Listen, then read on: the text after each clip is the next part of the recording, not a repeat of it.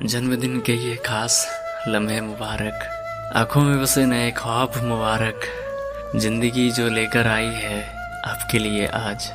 ज़िंदगी जो लेकर आई है आपके लिए आज। वो तमाम खुशियों की हँसी और सौगात मुबारक। आपको जन्मदिन की बहुत बहुत मुबारक।